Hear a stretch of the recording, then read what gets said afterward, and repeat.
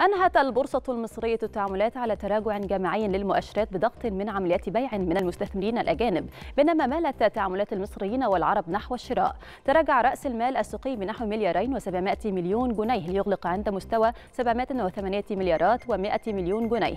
أما على صعيد المؤشرات تراجع مؤشر EGX 30 بنسبة 77% ليغلق عند مستوى 11189 نقطة. كما انخفض مؤشر الشركات الصغيرة والمتوسطة EGX 70 بنسبة 4 من 100% ليغلق عند مستوى 1852 نقطة. وارتفع مؤشر EGX 100 بنسبة 14 من 100% ليغلق عند مستوى 2835 نقطة.